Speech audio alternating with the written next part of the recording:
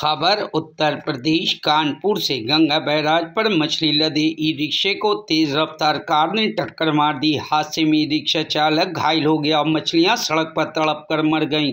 वहीं अनियंत्रित कार सड़क किनारे लगे डिवाइडर से टकराकर क्षतिग्रस्त हो गई। पुलिस ने घायल चालक को हैरट अस्पताल में भर्ती कराया। वही ई रिक्शा चालक, ज़िंदा मछलियाँ कहाँ से लाद कर ला रहा था और कहाँ ले जा रहा था? ये भी पुलिस की जाँच का विषय, जबकि गंगा नदी में मछलियों के शिकार पर रोक है। भैया जो ज़रूरी है ना यहाँ पे?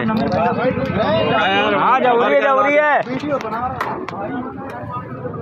अभी कोई गुजर निकल जाओगे तो देखे कौन यहाँ तुम्हारी गाड़ी का? चलो। भैया फ़ोन करो। सब ट्रेन मंगवा दो। ट्रेन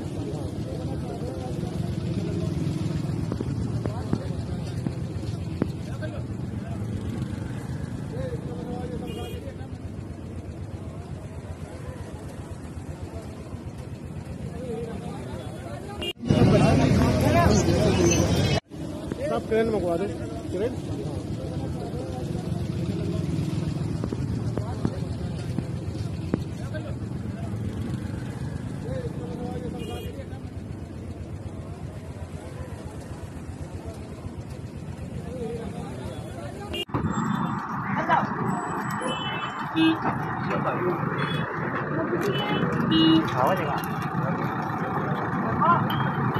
है कौन?